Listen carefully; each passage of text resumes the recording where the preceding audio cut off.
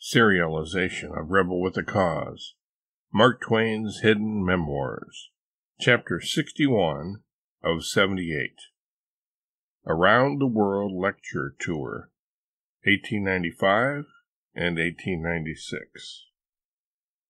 In 1895, I ended up having to do something I had sworn to never do again, and whose very thought was detestable to me embarking once again on a lengthy lecture tour. I had hoped to avoid the lecture platform for the rest of my life, at least as far as extended tours were concerned. The time on stage I didn't mind, but the enjoyment that part of the enterprise brought me no longer compensated for the dreary traveling and the disruptions to my comfortable routine and family life. Yet our finances were in such poor shape that I saw no other way out. In order to pay off our debts, I must again mount the platform and yell into the vast, dark recesses. So I resolved to canvass the earth's populace yearning for education at my stand, and at the end of it all, write a book about the trip and its points and matters of interest, and thus escape the Wall Street bondsman's lash. So I would spend a year girdling the globe, from the summer of 1895 to the same time a year later. I would make a return visit to the West and to the Sandwich Islands. I would see parts of the British Empire I had never seen before, such as Australia, New Zealand, and India. Livy was to accompany me, and also Clara. Susie and Jean opted to remain at home. It would be hard for the family to be separated for such a long time, but it needed to be done for us to get back on a solid financial footing, meaning most particularly to pay off our creditors in full, dollar for dollar.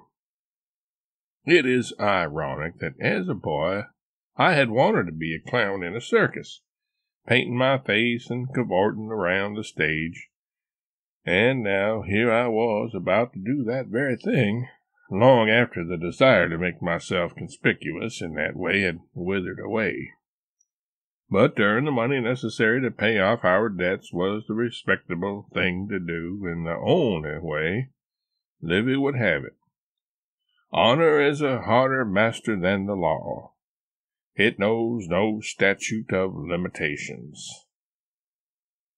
Truth be told, and this is my final opportunity to do that, I would have been happy to pay fifty cents on the dollar, a deal that Rogers and I were able to work out with my creditors, as I did not really feel personally responsible for all of those debts. Much of those obligations were due to the poor or even criminally negligent or deliberately criminal actions of Webster during his mismanagement of my affairs and the treacheries of that ass Page. But when my nephew and namesake, Samuel Moffett, put those lofty words about honor knowing no statute of limitations into my mouth in an interview he wrote for his paper, and Livy saw it. She found it such a fine sentiment that she was adamant that we pay the full amount of our debts, whether such burden should rightly fall to us or not.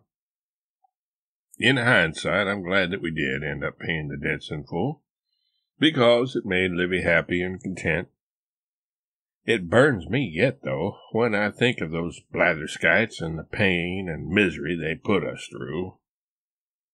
Still, it was not a totally ill wind that blew us abroad. We all enjoyed it, at intervals, and we all benefited, at times. One way was due to the fact that travel is fatal to prejudice, bigotry, and narrow mindedness.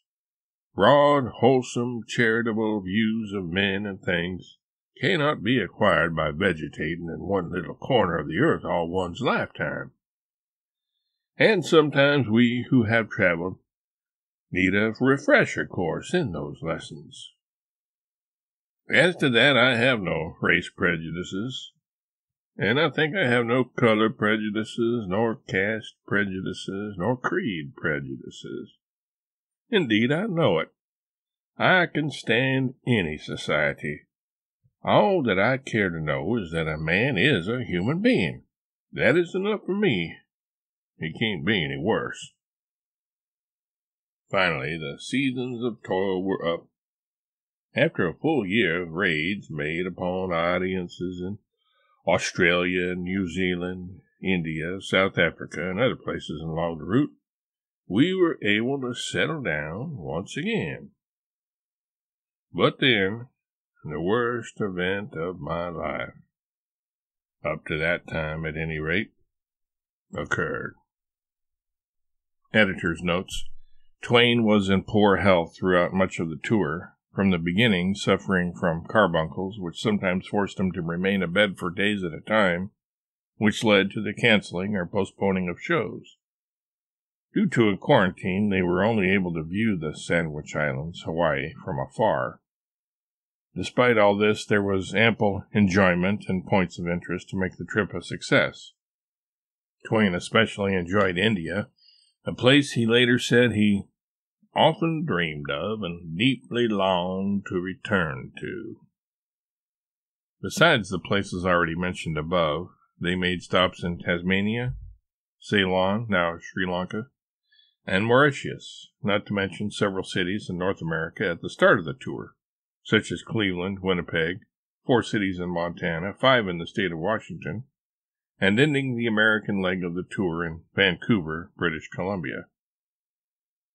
Twain had wanted to lecture in San Francisco again, too, but that did not work out. As was the case with Hawaii, Twain was destined to never return to California again.